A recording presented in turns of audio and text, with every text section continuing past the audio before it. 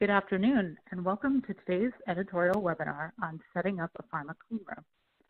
My name is Karen Langhauser, and I'm the Chief Content Director for Pharma Manufacturing, which is producing this event. This event is part of Pharma Manufacturing's Thought Leadership Series, which consists of several editorial-driven webinars on important industry topics throughout the year. Today we're going to talk about clean rooms. The demand for clean rooms used in pharma facilities continues to grow significantly. Right now, it's estimated that there are around 8,000 installed in-use pharma clean rooms worldwide, and that number is expected to grow to 11,000 by 2025 and 15,000 by 2030. Constructing and qualifying a new clean room is a huge investment of a company's time, money, and resources, and quite frankly, something you want to get right the first time around. In today's webinar, you will get a high-level overview on setting up a clean room in the pharma industry. Our expert speaker will walk you through understanding classifications, qualification, clean room design, and validation. We will also discuss the importance of ongoing environmental monitoring and microbial control. First, I want to take a minute to thank today's webinar sponsor, Meritech. It is no surprise that employees are the most common source of contamination in cleanrooms.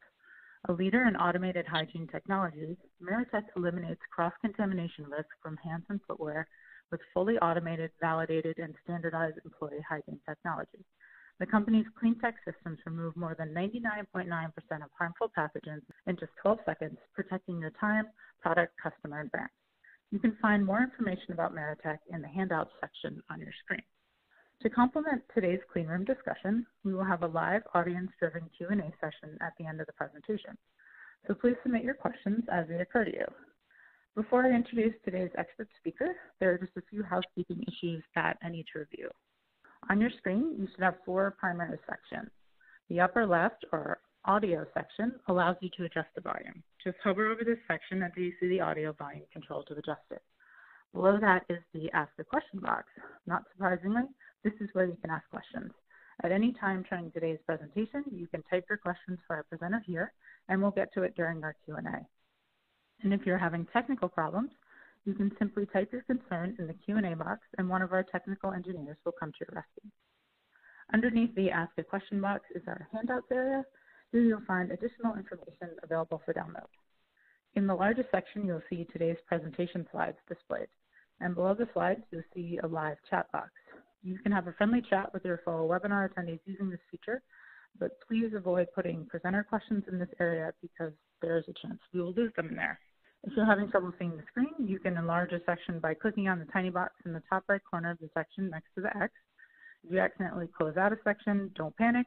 You can get it back by clicking the refresh button. It's the swirly arrow thing located on the far left of the icon. This webcast will be archived. We encourage you to direct colleagues and friends to the recorded presentation. It will also be available on the Pharma Manufacturing website. We've added a Q&A feature to our on-demand presentation so that listeners can ask questions that will be passed along to our speaker. And one final note, uh, we ask that you respond to the feedback form at the end of the presentation. Your answers will help us improve future events. And now it's my pleasure to introduce today's speaker, Marie France Quillen. Marie is the Senior Technical and Market Development Manager for Charles River. With nearly two decades of experience in the life science industry, Marie has a proven track record of driving results within pharma operations. Her functional expertise includes quality control, lab testing, engineering, manufacturing, and quality operations. Marie has extensive experience in aseptic production and successfully automating endotoxin testing programs within a GMP environment. She has worked with specialty APIs, vaccine products, and insulin products, and is skilled in microbiological testing methods, analytical method transfer, sterility testing, growth promotion, method validation, and equipment validation. And with that, I will hand the floor over to Marie. Thank you for that wonderful introduction, Karen. Hello, warm welcome from me, and I'm happy that you listened to this webinar. My presentation today is a high-level overview on setting up clean room in the pharmaceutical industry. I will discuss in general the design, classification, and qualification aspect of the clean room. I will also discuss the importance of environmental monitoring, program, and microbial identification. As you all well know, Annex EMP I'm sorry, EU GMP Annex 1 is under revision, and I will not be discussing it in any details, but to generalize some of the information associated with it.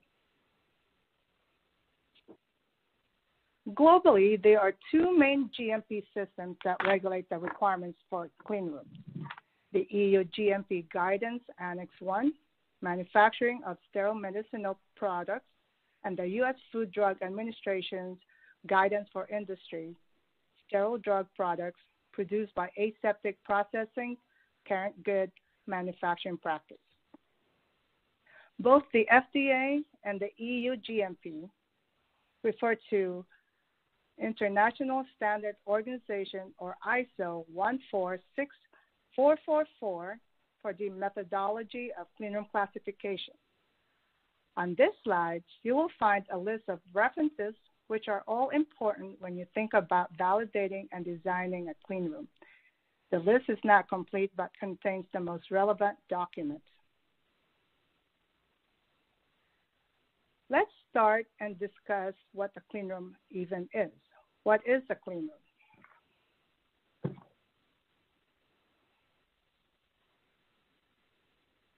In a high level, a cleanroom is a room that is designed, constructed, classified, and operated in a controlled manner. Why do we need a cleanroom?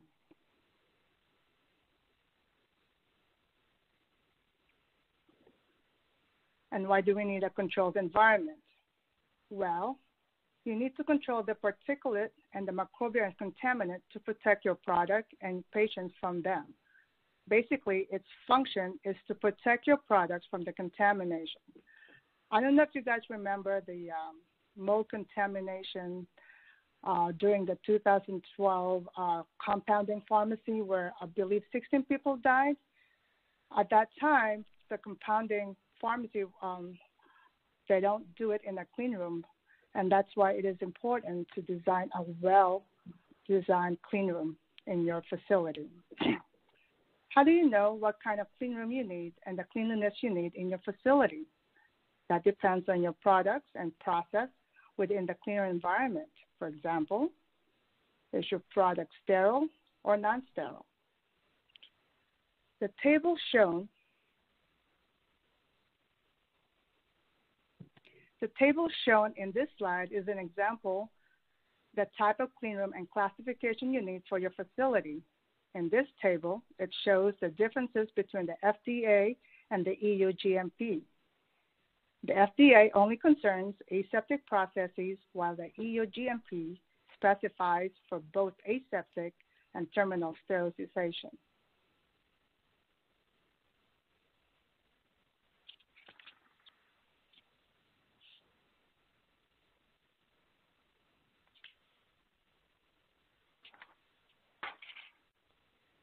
Classification requirements. A classified, a clean room is classified by how clean the air is. It is classified according to the number and size of particles permitted per volume of air. Let's look at the classification requirements for both the EU GMP and the FDA. As I mentioned previously, EU GMP Annex 1 is under revision and will not be finalized or published until the Q3rd or the Q4th of this year. The table shown in this slide provides an example of how the two major regulators might differ in the cleanroom classification requirements. As you can see, the FDA only requires to measure 0.5 micron particles for an aseptic process during the in operation condition, whereas the EU GMP requires both 0.5 and 5.0 micron for aseptic and terminal sterilization in both at rest and in operation conditions. When testing for, for at rest classification, it should be carried out after 15 to 20 minutes cleanup with no personnel in the room. While testing in operation classification, it can be performed during the normal operation simulated operation or media fill for worst case scenario. At this moment, no one knows if this version of the air classification requirement by the EU GMP Annex 1 will be in the final revision or if it will be harmonized with the FDA. So let's take a look at the EU GMP Annex 1 Revision 12 classification requirements. The table on the left is the requirement for the air classification for non-viable particulates. A non-viable particle refers to a non-living particle contaminant such as dust. As you can see, EU requires that air non-viable particles to be measured in two particle sizes, 0.5 and 5.0 micron in both at rest and in operation conditions. The static or at rest condition is performed to test the air quality when operations are not underway. The area is evaluated to ensure its functioning to specification prior to the beginning of the process. In the area of dynamic or in operation, it is performed to test the air quality when process operations are underway and associated personnel are present. The area is evaluated to ensure that it is functioning to specification during the operations and with necessary personnel present. There are also limits to the number of viable particles or microbes in the air. The table on the right outlines the allowable number of viable organisms in both active and passive or settling plates. The cleaner the room, the lower the number of viable organisms is allowed in. In this case, in grade A room, expectation is no growth. The setting plates or the passive air is performed using an open agar plate, typically TSA or your tryptic soy agar, exposed to the environment, allowing particles to passively fail or settle on the surface of the agar for four hours. Here, setting plate is required by per EU GMP. Now, let's look at the FDA requirements for air classification and microbiological quality. Here you can see in this table, ISO 5 designation has particle concentration equal to a clean area class 100 and is typically equivalent to the EU grade A. As I mentioned in the previous slide, the FDA only requires one particle size 0.5 micron to be measured in operation conditions during the aseptic process, and the passive air or setting plate is optional unless you are selling your product in the European countries. Now that we have spoken about certain requirements regarding clean rooms, let's look at the different phases of qualifying and validating a clean room in more detail. We will start with the first step, clean room design. In cleanroom design, it is important when, well, when designing a well-functioning cleanroom, you need to start with a good process and use and use a well-established tool such as quality by design and quality risk management met- methodology. The overall contamination control strategy should already be established and incorporated into design as well. What does the quality by design mean? It means that when designing a clean room, the manufacturing process itself should be the driver. The process should dictate the level of contamination control required and the classification of the room. Should be a design from the inside and out. What is the number one cause of contamination? We are people. So when establishing a contamination, contamination control strategy, all the efforts should be directed at people. So the flow and the movement of people within the clean room must be taken into consideration during the design. And the process within the clean room should have a layout that minimizes the movement of the person as much as possible.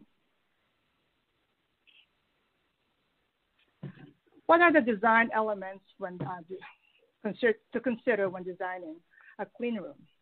it is important that you design a facility based on expect specification earlier in the process before construction begins, and that includes developing basis of design. clean room design is extremely important that includes making sure the walls, floors, and ceiling surface is smooth and easily cleaned. The materials should be compatible with the cleaning and disinfectant agents to make sure there is no pitting or any residual remaining from the clean room agent. Another design elements to consider is your temperature and humidity control. It is especially important when it comes to the temperature and personal comfort and ensuring that they don't sweat. And if they do, they are going to share which causes microbial contamination in your clean room. Humidity is also significant um, as well in your design. Anything above 60% will cause an environment for molds to grow. So it's important that the humidity control is to be considered for cleaner environment. Another design element to consider is your HEPA filter. It should be um, designed appropriately and a positive pressure is extremely important to consider because if you have room that is not properly pressurized, then you can have issues with the airflow directions. In addition, the flow of personnel and materials are, are critical aspects that also require special consideration when designing a clean room. Another design elements to consider are the materials that you use in, in your clean room, as well as as well used within, must be non-shedding and must be susceptible to cleaning and disinfectant agent. Any materials brought into the clean room that are typically part of the production activities should also be compatible with the cleaning and disinfectant agent. Usually, the supplier or the vendor will give you the information on the sensitivity to specific cleaning agent and the materials that are designed specifically for the cleaner environment. And of course, the disinfectant and cleaning agent efficacy study should be performed on the materials used in the design of the cleaner, including the materials used for equipment and movable equipment such as carts and tanks, and should be qualified during the environmental monitoring program part of your cleanroom validation or your EMPQ. Now that the, you have the design, you design your clean room, what is the next step? Well, once you design the clean room, the next step is your cleaning validate your clean room validation. So validation is an important process for any clean room. It serves to ensure that the clean room is properly installed and designed for its intended use and classification that all the components, such as your facility, your environment, and your equipment meet regulatory requirements and other defined standards. So, what's the clean room validation process? Most often, clean rooms are validated by third party validation agencies. This entails a thorough inspection and several tests where after the clean room is certified to a specific class indicating its level of control, usually to an ISO 14544-1 class. Validation has several phases, beginning with the design qualification and ending in final certification. Some of the tests performed in these phases include airflow volume and velocity test, your HEPA filter leak test, air movement visualization or your smoke testing, your room pressurization, room recovery, airborne part- particle count test, relative humidity, temperature, and other testing conditions. Cleanroom certifications consist of three main phases the installation qualification, your IQ, your operational qualification, your OQ, and performance qualification, or your PQ. I will discuss more what entails in these three main phases of certification in the next slide. So, clean room validation has five phases. Three of them is the clean room certification main phases. Your main, phase one or your main your phase one is your design qualification. Here is when you verify the requirements you, dis, you define in your acceptance criteria of your design qualification protocol. The protocol should address the user requirement specification or URS, your vendor documents and specification, your facility layout, your purchase orders, your design documentation, your factory acceptance test or your FATs, as build drawings and data sheets. The approval of the design qualification is a prerequisite for the certification of the clean room. So your phase two of your validation of your clean room is your installation qualification. Here it also refers to as built testing. Testing is performed with all of the services connected and working, but no materials, production equipment, or employee present, proving that the equipment is correctly installed to verify that all critical items that were installed are the correct model and or type, that they meet all of the specification according to the URS to make the room functioning properly and everything has been installed correctly. For example, lots of the materials used in the construction, the walls, floors, your ceiling, your door, your differential pressure gauges, your ceiling panels, your light fixture, your HEPA filter, and your HVAC system. Make sure they're all been installed correctly. Your phase three or your third phase is your operational qualification or at rest testing. Testing occurs when equipment is installed but not operating and no employees are present. This proves that the equipment works properly to achieve the required environmental conditions. And this is also where you're going to do your clean room classification during at rest condition. Once the IQ and OQ have been performed and approved, uh, let the QC microbiologist take the lead for the performance qualification of the clean room here in your um, performance qualification um, clean room, your testing is um, performing with all the equipment installed and operating, and employees performing their regular work duties and tasks. This test proves that the clean room has, has the required operational performance for the clean room application. This is when the EMPQ or the environmental monitoring performance qualification is performed. This is when the surface and the airborne particulates and bioburden levels are monitored and tested. Depending on the size and the amount of the clearance, it usually takes from two to four weeks to complete. Here also is when you're going to do your cleaning validation and your air classification during the operation. During the PQ, all environmental isolates recovered during the EMPQ must be identified.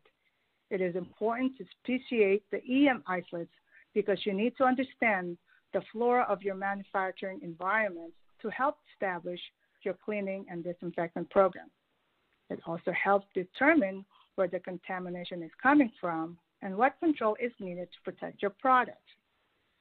ID generated during the PQ establishes baseline as to what flora is found in the manufacturing environment and critical in establishing the alert and action levels. Once the initial certification is complete, is completed, it is important to regularly recertify to ensure that your clean room continues to operate as it did when it was built. At a minimum, Annual certification is recommended depending on the industry and product. Semi-annual or even quarterly certification may be required. The requalifications gives the opportunity to evaluate the microbiological data and the microidentifications are just as important during this requalification in order to assess any changes and risks.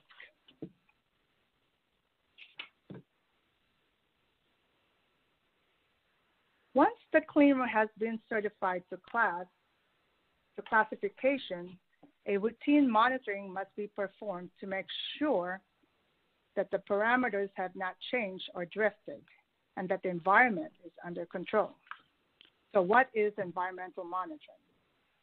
Environmental monitoring is a critical tool set that ensures that manufacturing environment is maintained within the acceptable levels as defined by the FDA and by the EU GMP and other governing bodies. It ensures that the product is manufactured in a safe and controlled space free of contaminants. Why is it important to establish an environmental monitoring program in your facility? Well, it is important because it provides a meaningful information on the quality of the aseptic processing environment as well, as well as ancillary support areas. The user environmental monitoring confirms that the systems are working to protect the integrity of the process and the sterility of your products. The data gathered from the environmental monitoring provides valuable information regarding the quality of the aseptic processing, and it can be used to help identify potential routes of contamination and lead to implementation of corrective actions before product contamination occurs.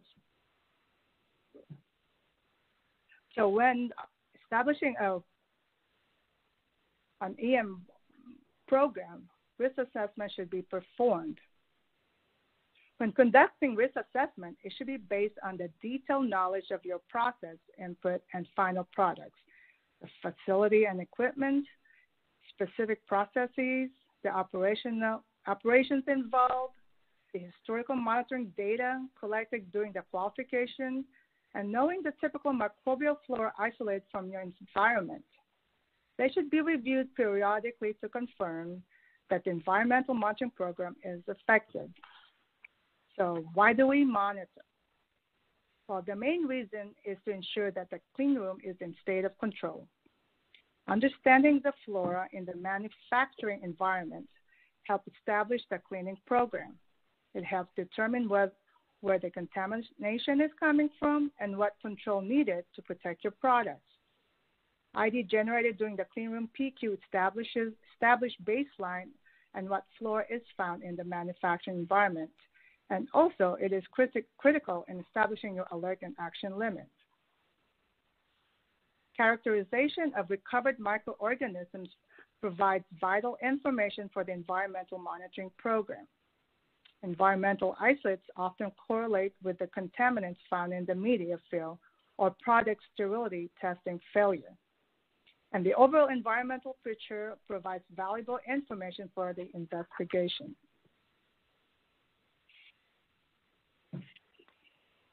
Let's talk about microbial identification. According to Annex 1, Draft 12, it is clearly stated that there is an expectation that anything found in grade A and B should be identified and the impact of the organisms on product quality should be assessed. An accurate identification is critical to assess the impact it might have on the product. In the new Annex 1, it talks about consideration given to ID of grade C and D contaminants, for example, where the action or the alert levels are exceeded, or where atypical or potential objectionable microorganisms are recovered. It's not, it is not stipulated to ID everything in grade C and D, but should be enough info to allow for effective trend analysis. So when grade C and D trending can be limited if there's no ID obtained. So let's look at what um, the FDA guidance is when it comes to microbial identification. According to the FDA guidance, monitoring critical and immediately surrounding clean areas as well as personnel should include routine identification of microorganisms to the species level or where appropriate to the genus level. At minimum, the program should require species. Identification of microorganisms in these ancillary environments at frequent intervals to establish a valid current database of contaminants present in the facility during the processing, and to demonstrate that cleaning and sanitization procedures continue to be effective.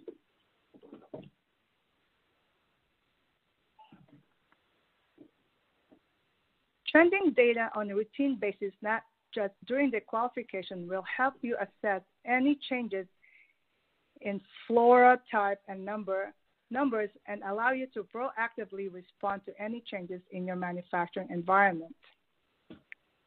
It is also important to track all the data collected during the environmental monitoring to see if there's any increase in your action and alert limits, if there's any changes in your microflora, especially during the, um, the seasonal shifts, if there's any consecutive breaches or alert limits, or regular but isolated breaches of limits that may have a common cause, for example, a single excursion that always follows planned preventive maintenance.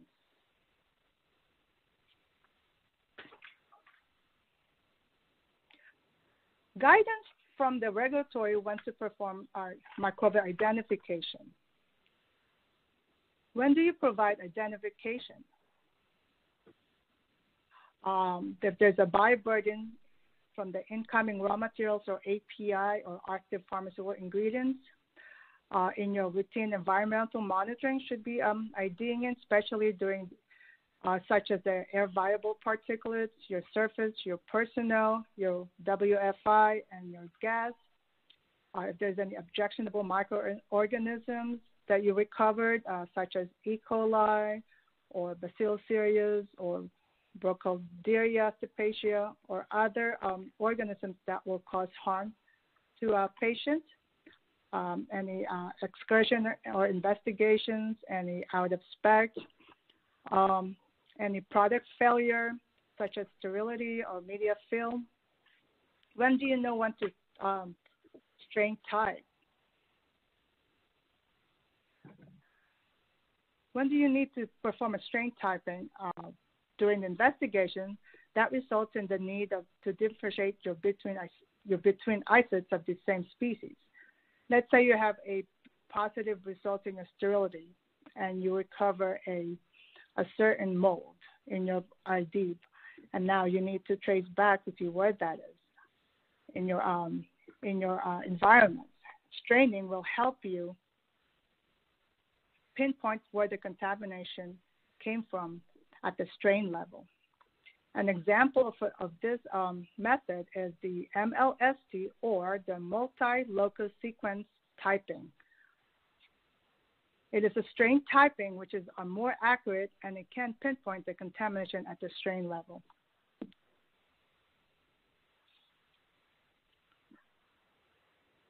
So how do you know what type of ID method you need in your lab? There are different types of ID methods. You have the phenotypic, genotypic, and proteotypic methods. In the phenotypic method, it is based on a morphology, biochemical, or physiological properties. They are required a live, healthy organism, and it takes usually a couple of days to get an ID result. Example of this is API strips, uh, VITEK 2, and Biolog, which uses a, a series of biochemical tests which read on color change, turbidity, and precipitate formation.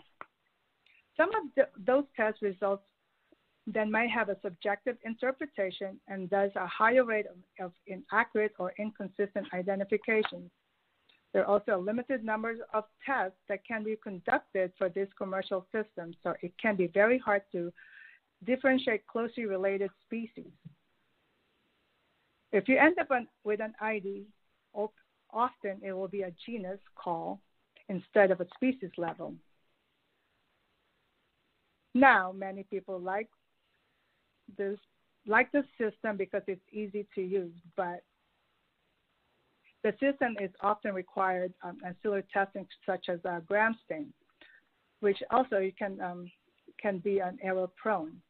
If the gram stain is wrong, often the ID will be wrong, and you would end up with no ID at all, and tests will be needed will be need repeated repeated tests.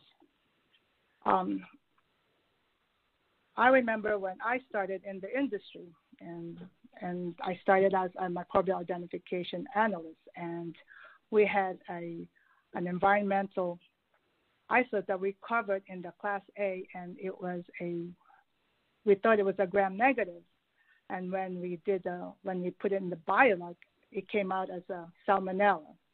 Of course, We had to confirm this, but since we only had one ID system, we sent it to Accugenix for confirmation.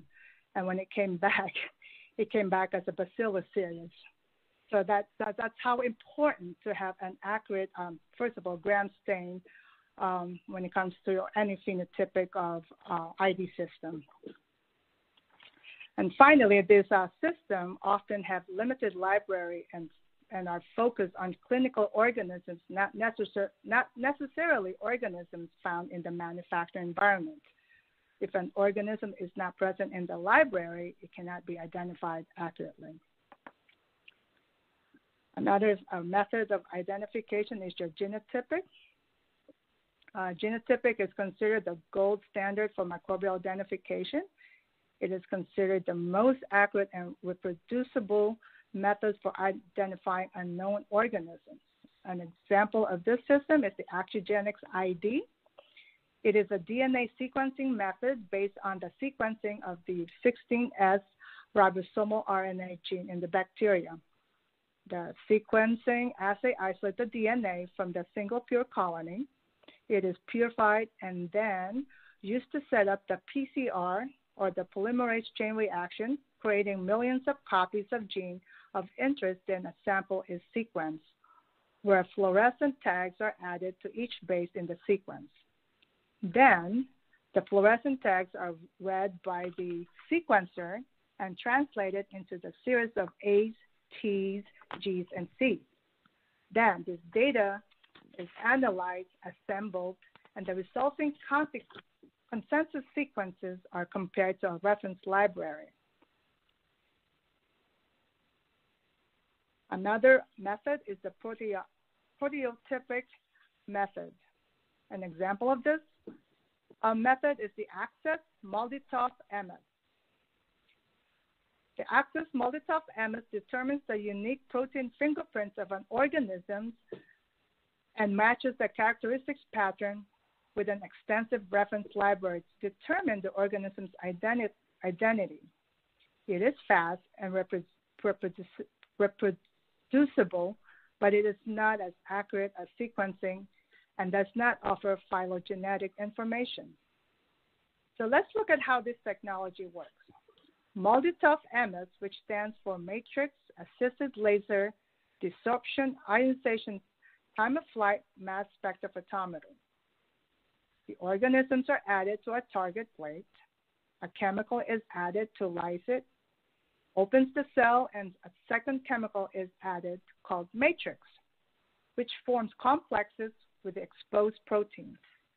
A laser then fires down and ionizes those complexes, which break off and travel up to the vacuum to where they are detected based on their mass and then compared to a li- library of known spectra.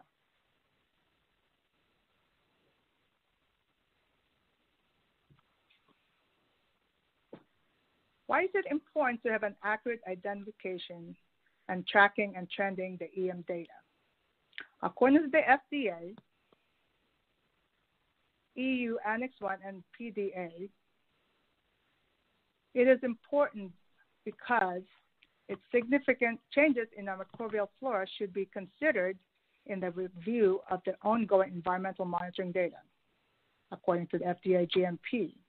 And according to the Annex 1, Monitoring procedures should define the approach to trending.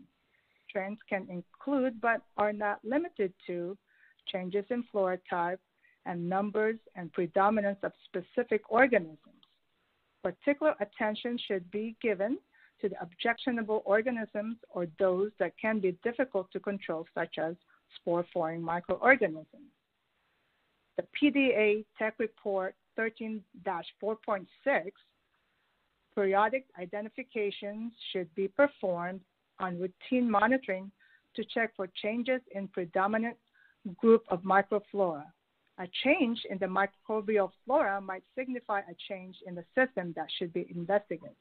As you all see, all three of them agree that isolates collected during their routine environmental monitoring should be identified accurately, and not only that, they also must be tracked and trended. The benefits of tracking and trending is to document that the manufacturing the cleaner environment is under control, or if things have changed or are going to change. It helps identify problems before they're being be, they become too big. Uh, smart tracking and trending will help you to prevent contamination contamination events. It would help you to move from corrective actions to the preventive actions. So in conclusion, clean room design, when setting up clean room or designing a clean room, the process and the product, product should be the main driver of the design. The process should dictate the level of contamination control requirement and not the industry. The clean room must be designed from the inside and out by using a well-established methodology, methodology such as quality by design and quality risk management principle. Not only this method can be used in designing a clean room, it can also be used in establishing an EM program. Having a baseline also helps with setting up an action and alert. Having an accurate ID will help you know and understand your environmental flora of your facility, which helps in investigation and determines the root cause of your contamination. Uh, routine environmental monitoring demonstrates that the rooms are in state of control. Increasing sample offers more visibility and accuracy into the facility, facility's microflora. It will shed light on what you don't currently know, but it will not change what is currently present. As I mentioned in the beginning of the presentation, the EU GMP Annex 1 is under revision and will be finalized either the third quarter or the fourth quarter of this year. Thank you so much for your attention, and please reach out to me when you have any questions or need any support. Thank you. Thanks, Marie, and thanks for that um, really thorough presentation. Um, so we uh, have some questions coming in from the audience already, so we can just jump to those. So we covered a lot in this presentation. Um, what is the best place to start in developing the clean room? Um, well, ideally, ideally um, it will be from the from scratch, right, from the bottom, from the ground up, to design a um, a clean room, so you know what you need, and you can design uh, the way you want it. But of course, um, not that's not the case a lot of the time. So if you need a clean room or you need to um, change a room, there are other clean room companies out there that build a clean um, clean room in like in modular. So that will be a that will be a good um, another um, way of uh, of um, having a clean room and designing a clean room and building a clean room in your facility. Okay, we can uh, move on to another question. Um, how important is it to trend microbial isolates? It's really important to uh, to to trend a, a, a, microbial isolates because that's when you are going to see if there's any shifts in your uh, base in your normal microflora um, and also, um, when you trend, that also will um, see if there's any increase in your action and alert level. And when you see that, that's when you can um, act and and and mitigate all the problems, like either uh, clean room, how to clean it, you know, your cleaning uh, disinfectant, make sure make sure it's working properly. So this will also help you um, see if your cleaning program is working and your environmental monitoring program is um, is definitely is working. Makes sense. Um, along the same lines, um, another question: How important is it to accurately identify environmental isolates? Oh, it's really important to have an accurate um, ID uh, because um, how would you know if uh, that I, that particular um, ID or isolate is the same as the one that um, that you see in the previous previous day that when you did the monitoring? Um, I remember when I started in industry where my first job was was microbial identification, and we were using a, um, a phenotypic um, uh, ID, which is Biolog, where it IDs as a um, is a salmonella coming from a wall. So that really that really questioned the uh, I questioned the uh, the accuracy of that ID. And when we sent it out to Accugenix, uh, it came out as a Pseudomonas. So that's why um, having an accurate ID and also having a um, a, a, a, robust um, micro ID method, method is really important to have. So when you're picking an ID system, um, definitely I would go with a, a, genotypic type of ID, such as your uh, printer or your MicroSeq, to really um, be able to strain and, and get an accurate ID in your um, isolates.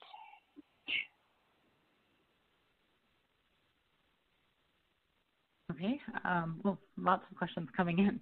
Um, okay. So, uh, uh, what are the general steps to perform a disinfectant cleaning agent efficacy study? Uh, so if you are just beginning and you don't have any environmental isolates yet, uh, that's when I would um, usually um, send it to a third party that uh, that does it a lot. Um, um, that's all. That's what they do. But if you're doing it in house, um, definitely you need to grab get all the materials that you're going to need that you that you have in your clean room to test and and and and also the um, the uh, the isolates that you need to uh, test it test it against. Um, you can get that from uh, USP 1072. And when once you have then once you have all that information uh, and all the data you need and collected all the environmental isolates, I would retest retest your um, your materials against with the against the against the uh, disinfectant um, agents with your with your environmental isolates. We're nearing our time limit here. Um, just a reminder for um, uh, questions can be continued uh, can be submitted uh, if you view the webinar on demand as well, and we'll still get them and be able to answer them. But I think we have time for one more question. Um, uh, which method is more reliable for microbial identification? Uh, mass, I believe this is spectroscopy or sequencing? Oh, mass, uh, um, yeah, the multi-cell for mass spec. Uh, definitely, it's your gene, uh, your g- sequencing will be the most um, accurate one to to uh, to to to use when it comes to microbial identification. But it's it's labor intensive and it's expensive compared to the MALDI-TOF or the protein um, fingerprint. It's uh, it's much faster. So for let's say if we have a uh, isolates um, environmental isolates that we cover in the uh, grade A and grade B, I would um, I will definitely use a uh, sequencing on that one or sterility, positive in sterility. I will use the sequencing on that one, but and other um, other I would do the the MALDI-TOF. Thank you so much for answering all those questions, Marie. Um, just a final reminder to the audience to please let us know your thoughts on this presentation by answering our brief survey that will appear on your screen shortly. Uh, your candid answers are appreciated and will help us craft future events. Remember, this webcast will be available on pharmamanufacturing.com. Please feel free to share it with your colleagues. We also encourage you to visit pharmamanufacturing.com to gain access to even more tools and resources aimed at helping you achieve success. On behalf of Pharma Manufacturing, the experts at Charles River, and our sponsors at Meritech, thank you for your attendance and have a nice day.